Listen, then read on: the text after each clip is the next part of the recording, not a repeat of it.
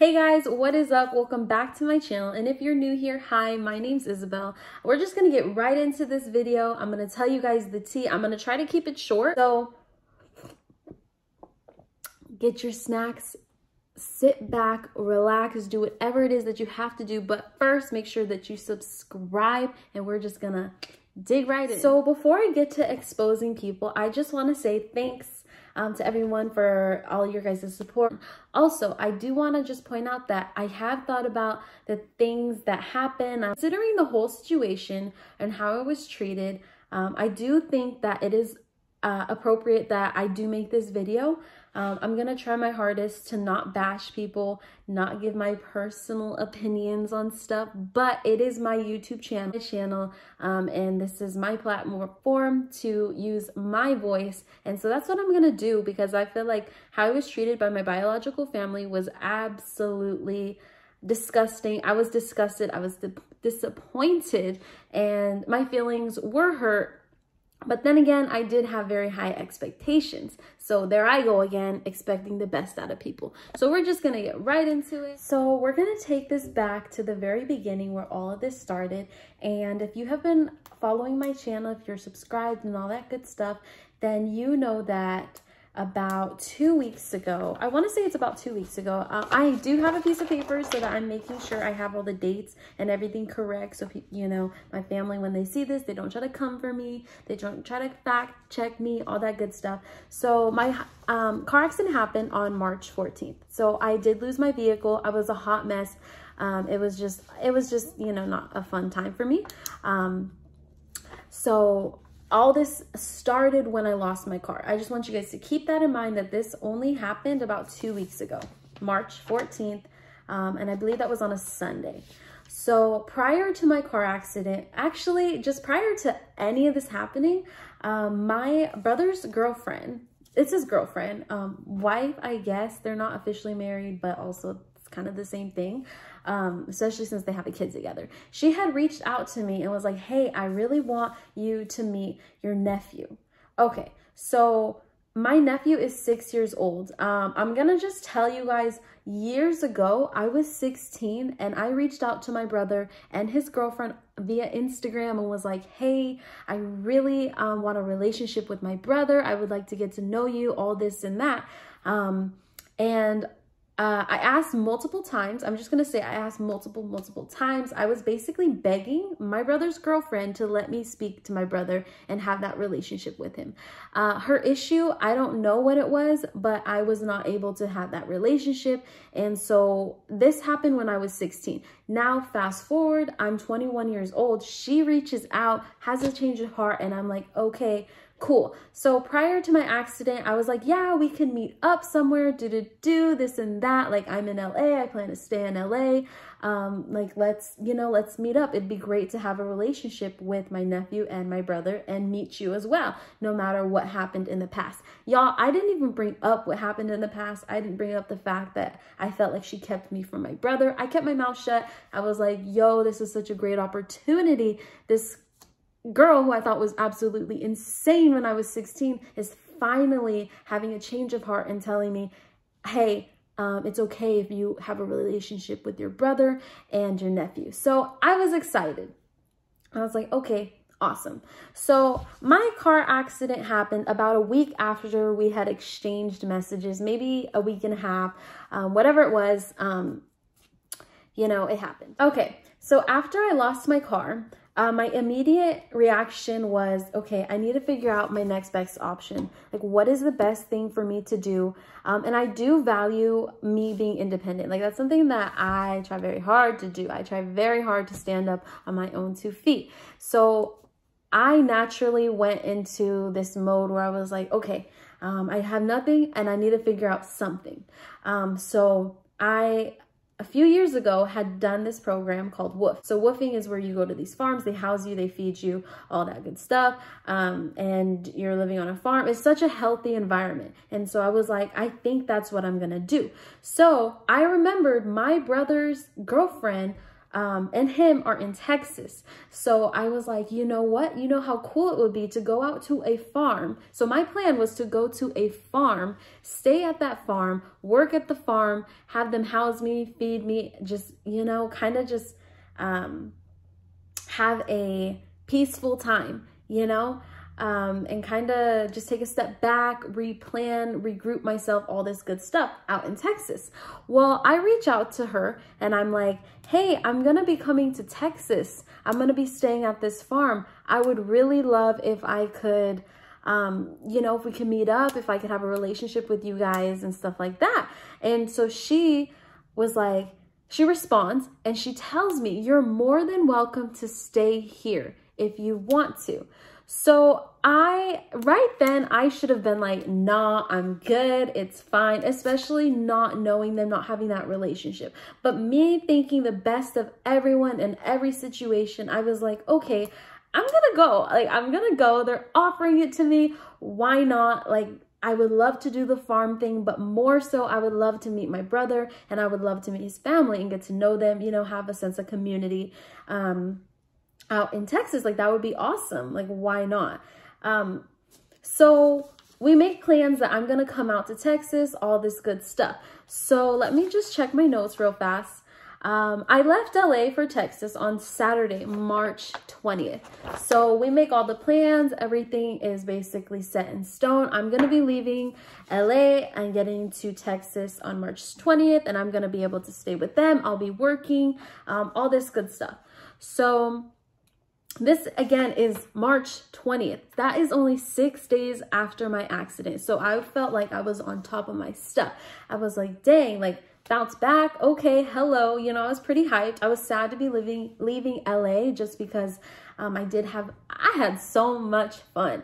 Um, and I didn't really want to leave, but I also really wanted to have that relationship with my brother and his family. So I was like, you know what? It's okay. So I get to Texas on March 22nd at noon. So the first red flag for me with my brother personally should have been that he didn't want to come pick me up. Like, he himself didn't want to come pick me up, which I thought was weird. Um, I have to say, I was I didn't like that. I was like, whoa, that's my brother. Why doesn't he want to come pick me up? Um, he had his girlfriend come pick me up. Okay, that's fine. Whatever. That's totally besides the point, but not really because that was a red flag. You know what I mean? You know when you go on a date and you're like, that's a red flag? Okay, well, me meeting these people that I don't really know who are supposed to be my family and my own brother doesn't want to show up to pick me up from the Greyhound station, that's crazy. Mind you guys, I took the Greyhound. I took the Greyhound. I was on that bus um, for two days and I had a 15 hour wait at one of the stupid Greyhound stations. It was ridiculous. Like I was eating gas station food. I, it was just a mess. You would think that my brother would take it upon himself to at least um, greet me at the station. Um, so now that I talk about it, the more crazy I'm like, why didn't I even notice that? I don't know. So I'm there uh, March 22nd um, basically everything was going good. It was pretty great. Um, I had, you know, I was getting, it was the honeymoon stage. Um, that did not last long. I met my nephew. I put a video up like within those two days. I was like, hey, um, this is a really cool experience. I want to put it on my YouTube channel. So I did that and everything was great for that video. Um, and the faces that you guys saw in that video, um, that is them. I'm gonna go ahead and give them names. I just gasped. You guys just saw me gasp because his girlfriend told me. She was like, keep my name out of your mouth on your YouTube channel or I'm going to report you, which I think that she's not even able to do that, especially since she gave me her consent on my other video. But just out of the kindness of my heart, I'm going to call her Maria and I'm going to call my brother Jerry. but if you want to know their real names and their real identities, go ahead and check out um, my video. Go ahead and check that out and you get to see them real life living color. So like I said, I got there on March 22nd noon, yada yada, everything's going great. They're vegan, so this is something that I really didn't like about Maria, my brother's girlfriend, was that she thought she was better than everyone because she's a freaking vegan, which I'm not bashing on vegans, okay? I, you know, that's your thing. I love that. But also you don't get to hate on people and call them dumb for not being vegans. I'm just saying like, and she was only a vegan, I think maybe three months max. And I'm like, girl, you was stupid just like the rest of us for your entire life. Don't play. Like, please don't play. I, I didn't say any of that. I was like, it's fine. It's fine. You know, just trying to be like calm about everything. And I was like, well, like that's odd that she's judging people, but okay, kept that opinion to myself. So on the 24th, um, Maria and I decided we are gonna go to a club. It was a gay club. Um, I was like, this should be super duper fun. Uh, I was ecstatic for it. I was like, y'all, I haven't really been to a club to like club, you know what I mean? Um, since I turned 21. So going to this club, I was hyped. I was like, oh, yep. So we get to the club. Um, I noticed that Maria doesn't seem to have good relationships with people. Because she was like, this is my best friend. It was just a weird vibe that I got. So I was like, okay. Like I felt awkward and a bit uncomfortable, but I also had a lot of fun. But basically, the entire night, Maria um i i don't hate on insecure people. I would never be like you're insecure go away. But she just had such it was just her insecurities made me feel very uncomfortable. And i think um if you're that insecure and you're projecting that onto other people i'm not going to say everything that happened but i don't think it's okay. Like you need to work on those insecurities. And um, if you are projecting those onto people you need to check yourself you know? Um so we're not to go into all of that but we had a lot a lot of fun. I'm gonna insert a clip of us at the bar. Um obviously maria if you're watching this i know you are. I will blur out your face sweetheart. You're not getting clout from me. No huh? No uh honey. So all that happens and it was just a good time. So my brother, this is where the tea comes in. So Jerry over here, before we left, this is what um, caused us to go to the club was it's not what caused us to go to the club but she wanted to step out because she was a little upset and i was encouraging her i was like yeah like let's go like why not so my brother um, would leave the house at 11 p.m 11 p.m., guys. Like, where do you have to go at 11 p.m.? And he didn't want to take any of us with him to do. But she told me um, he does leave at like 11 p.m. I don't know where he goes and all this stuff. So I was like, honey, that's weird. Me not trying to choose sides, but sweetheart, that's weird. So I was like, okay. I felt so awkward. I was just like, whatever. Uh, so I was like, well, we're going to go out too. Like, we're going to go out. We're going to have fun. So, but prior to us going to the bar, we did drink a bit. Um, my brother was saying, he's like, if you guys need a ride, I will be there to give you a ride. Um, well, long story short, Fool did not come clutch with a ride and we had to yeah take a Lyft. And i was so disappointed because not only are you leaving your sister but his baby's mother also was out with me. Um you know how are you gonna leave her hanging? That's your baby's mother. You would think he would want her to be safe sound and at home. You know what i mean? But he was so mad i guess that we went out that he didn't want anything you know he didn't want to come pick us up. And uh just a side note later on um, I find out he was with his Sancha, the side piece. So we're going to just get into all that later on. So we get home, um, all this and that. So at the bar, me and Amanda were talking. We were sitting, we were discussing whatnot life and stuff like that. And I asked her, I was like, so years ago, when I tried to reach out to my brother, why is it that you wouldn't let me talk to him? You know, I just asked straight up and she turned red. She was like, oh, I don't know, I don't remember, and this and that. And I'm like, girl, don't play because I got my screenshots from that time. No, I'm just Why is she acting brand new like she didn't know? And something that I noticed was that if I said her name, name I'm sorry, I put a little quack or whatever there in the edits. Um, but basically, I asked Maria, you know, like, actually, you know what? Fuck it. Sorry, excuse my language. I'm sorry, but I'm calling you out by name, okay? Um, because this happened. But yeah, Amanda, this is for you, boo. Um, so pretty much she um, denied everything and I was, I just dropped it. I was like, it's fine, whatever. So we got home, we took a Lyft home and whatnot. And my brother uh, I think he was home when we did get home. Yeah, and I was like, why didn't you come pick us up? And stuff like that. He's like, oh, I was busy. And so that just made me so mad. I was like, okay. And that night, I just told him, I was like, that is so ridiculous that you would leave your baby's mother out there, that you would leave your sister out there. Like, you're absolutely insane for that. And I was like, you told us you would pick us up. And, you know, it just really hurt my feelings. Okay, it hurt my feelings. I was like, why would you do us like that? Like, that is so, like, it hurt. And so after all that, it's the next morning. My brother comes in to talk to me. But Amanda, little Miss Amanda, or we can call her Maria, whatever, fine. Um, she decides she's just gonna leave. So, but this time, um, she left, she goes, does her own thing or whatever. And my brother's heated. He's like, I hate when she does this, do to do. He's going off. And um, I think she left because my brother came to talk to me. And she's that much of a jealous person that she can't stand to see that. Like if he's not giving her the attention, she doesn't, she don't want to hear it. Like she, she's gone. She's out. Amanda's gone. She said bye. So that's pretty much what happened there. And I, me in the middle of this, I was just laying on the bed like, y'all freaking kidding me.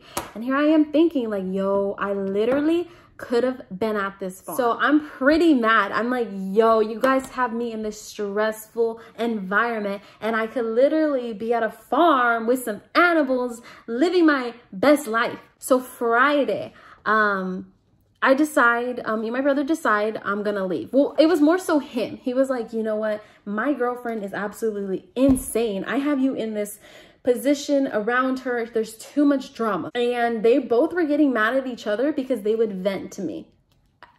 These grown adults would vent to me. And I'm like, y'all, I literally lost my car. Like, I'm not in a position where I can be your therapist. Like, I'm so sorry, but uh-uh. So I, me over here, I'm just like, why are these fools venting to me? Like they, they wouldn't not. And I asked them, I was like, hey, I'm not trying to get in the middle of this. I'm not taking sides. But both of them, and I told them this, I was like, both of you are in the wrong. You have a child together and you guys are acting like children. That's wild. So I ended up leaving um, Friday at 1 a.m. My brother's like, you know what? Um, our grandma can help you. I have too much drama with my family. It's not a good environment. And I really appreciate that he told me that. But you know what? He knew this prior to me coming. So he really could have just said that from the get-go. So, and I tell him that. So he tells me, I didn't even want you to come here. He tells me he did not want me to be there, that his girlfriend invited me out and at that point, I'm just like, yo, y'all need to stop hurting my feelings. I was like, okay, I love this for me. So he's like, you know what? I'm going to send you to your grandma's. Um, she's going to help you. Y'all, I'm turning red because this is getting me heated talking about it. so he's like, I'm going to send you to your grandma's who's in California, y'all. She's in San Jose. Well, she's in Los Gatos, but it's like 15 minutes from San Jose. So he sends me to my grandma's. And that um, itself is a two day, it's a two day bus ride. So I wasn't even in Texas for an entire week before I have to get on another two day bus ride. And so he sends me to my grandma. So I get to my grandma's and, you know, I get settled in and I'm literally there for a day. So prior to me actually getting there, um, I was told like I'm gonna have all this kinds of support, stuff like that. This, you know, all basically I got lied to pretty much. Um, uh, first thing I noticed right off the bat, I was like, hey, can I get a ride to go get my eye contacts? Because I was very, you know, I don't, I'm pretty blind and uh, I couldn't even get a ride to get my contacts. And I was like, okay. And my grandma, after I asked her, how long do I have? She told me a week. So I was like, okay, well, that's not what I was told. Um, that's not what the plan was. So I was like, okay, do I need to go back to Texas? I really didn't want to go back to Texas. Um, and my brother basically was ignoring me when I was telling him, hey, grandma's saying this isn't, you know, a long-term thing. It's just a week and I, there's no way I can get on my feet within that week. As much as I didn't want to go back to that environment, I also was like, you know, um, I think I could make it work. I can make it work. You know what I mean? Um, and he, he was, he ignored me. His girlfriend ignored me. Although they did tell me before, I came out, they were like, if you need anything, make sure to call us and we will get you back to Texas. So that's not what happened.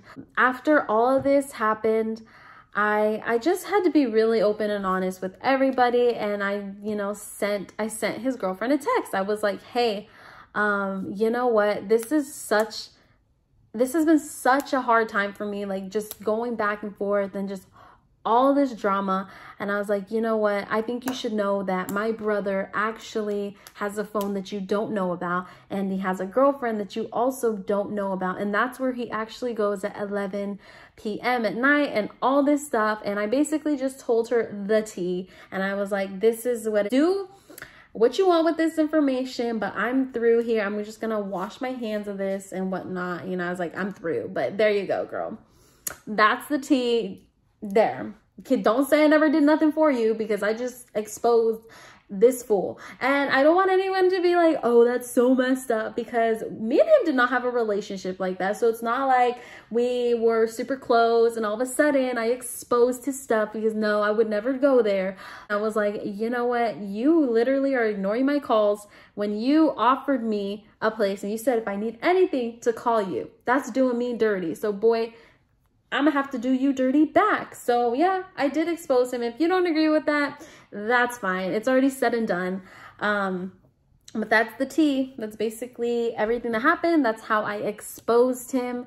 And it's just a hot mess. I'm not even going to go into how messy my grandma's lifestyle was. Just, it was just drama back and forth, drama, drama. And I'm just not for that. Like, I'm at a point where I'm like, yo, I want some peace in my life. Especially, like, I lost my car. Like, I'm already going through it. I'm already going through it. Why are you guys going to drag me into all of that? and they're just not great people. Um, so after all this was said and done, um, I headed out to Tacoma. I came back to Tacoma. My friends, family are the ones who have really been so supportive of me and they offered me, they're like, hey, you can stay with us, you know, and it's just been such a relief and it's been such a blessing and I just never would have expected everything to go down in the way that it did. And on top of everything, I also reached out to my brother and was like, hey, um, I left my entire box of shoes at your place.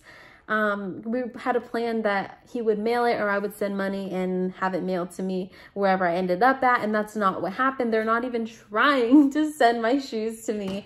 So these people are literally the lowest of the low. Like they don't care. They have no morals. And I'm, I'm just through. Um, they're not my family. I don't claim them.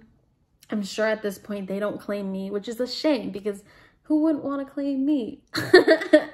But that is the tea, you guys. It, it goes so much deeper than even what I'm saying. I'm trying to give you guys the full like deal of what really happened. And yeah, me probably exposing my brother to his girl and telling her like, hey, my brother's cheating on you, has a whole ass phone, like he has a side boo, thinking about getting an apartment with her and everything. I know you guys are probably like, damn, that's messed up. But when people treat me wrong and I feel like I don't deserve it, I my I snap into like, oh, okay, we're going there. So I go there. If you want to go there, we're going there.